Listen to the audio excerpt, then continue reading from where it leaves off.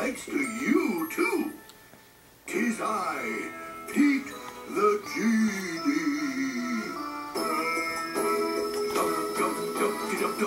Genie.